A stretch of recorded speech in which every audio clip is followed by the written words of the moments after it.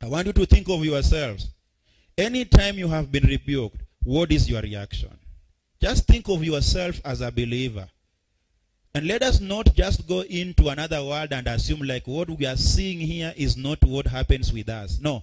What we are seeing here is exactly what happens unto us. The question I want to ask you this evening is, when you have been rebuked of God through his word by the mouth of his servant, what is your reaction? Do you believe that what the man of God speaks, preaching against your lifestyle is the word of God, or you use that to look at the man of God as your enemy? Let me tell you the truth.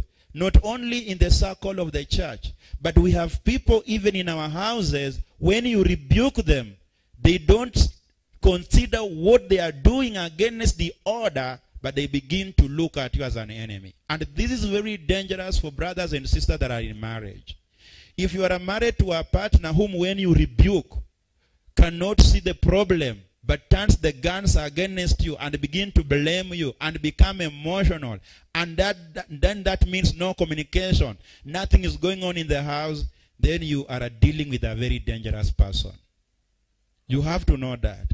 You know we have to come to a point of realizing that a rebuke is good if I rebuke my wife of something that she's doing which is not right, and such a thing is going to bring troubles in our family and make our union and friendship and relationship have troubles, she has to take that rebuke very positive and begin to see that, hey, this is our friend and he wants us to continue flowing rightly. Therefore, it is upon me to realize it and stop what I'm doing and love him even more because he has rebuked me.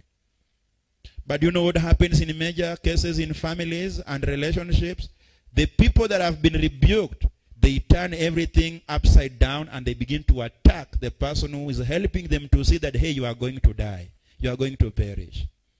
If you ever be in any relationship whereby the person you are in a relationship with can never be corrected, and anytime you correct him or her, you become to you you know you he or she begins to blame you then you have to know that if you have not gotten into marriage, consider first. Because once you get into marriage and that is going to be the lifestyle, you will live a very painful life.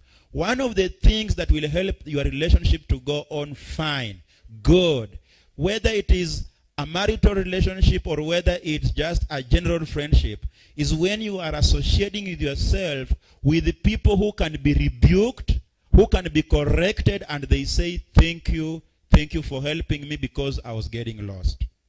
But when you rebuke people, when you show people, hey, this is not the way, stop this, and then they become emotional.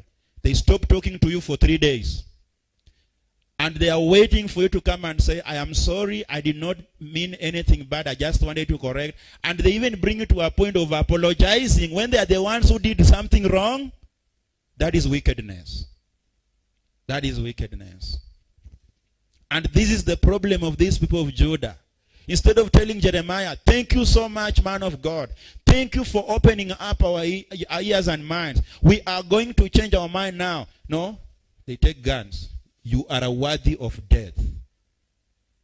When you rebuke children, your children, when you are rebuking your children, hey, this is wickedness.